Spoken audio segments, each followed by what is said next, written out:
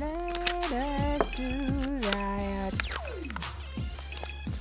Boy, we've been hearing this story for, for many, many years um, that we're losing our teachers. It says 390 teachers have left the public school system since September.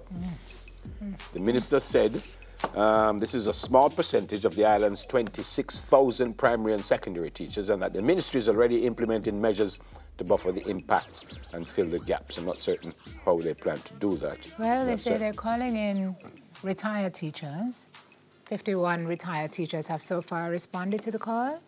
And they're looking for final year students, whether in, I guess, Teachers College who are on practicum or to come in and teach a teacher. So the minister says that's how, in the interim, they're filling the gap. But this is a very serious Yeah. problem. I don't know if you know, but is this just about money, or is it about don't think greener so. pastures and family life and stuff like that? Is it the teachers just complaining? We're not getting enough money, and we can get more in the Cayman. The the education United system States. is not the same. Teachers Yeah. will tell you classrooms are getting bigger, children Yeah. are getting, you know, more difficult to deal with. Um, The sector in itself, you know, pay has always been not good. If you have to go into a classroom and deal with some people 50, 60 children, and you are, you know, getting, um, I don't want to say abused, but there's hostility. You have to be guidance counselor and teacher and parent, and then you tend to, if you find a better opportunity, you tend to go. And the attrition is, is, is really, I mean, 390 teachers since September. September. And I've, I've, I've said this many times on this show that everybody's reality is different. So sometimes we hear things that say, no, Samuel, but everybody's reality is different. By the way, just to change the subject a bit, um, I, I didn't read the story, but it says on the front that Lucas, Lucea Mayor sounds off a local journalist, and the headline is, I hate the media What do they doing, please? at the top. What the happened? show. He says, You must report and report correctly, he shouted, turning his glare on members of the media. You have sent in an article the other day that I said that I spoke to the minister about cleaning the drains, and that was not correct. But I know why you're behaving so, you know. But I will not tell you no. so, me and Samuels was up into himself, as they say, and cursing himself. He hate the media. So, So what if he was sounding off, why didn't he just say why he thought Yeah. they were behaving like that? Yeah, I don't know. And he says the members were a little taken aback by it, but there you go. Uh, the- uh, apparently, he banned the media from one, once, and then the minister Desmond McKenzie said, "No, nothing can go." So, and then he apologized for that. But I'm saying he hate them. Okay. Um, not certain if everyone knows this gentleman, great singer from the Tamlins, Derek Lara, um, died yesterday morning in, in Florida.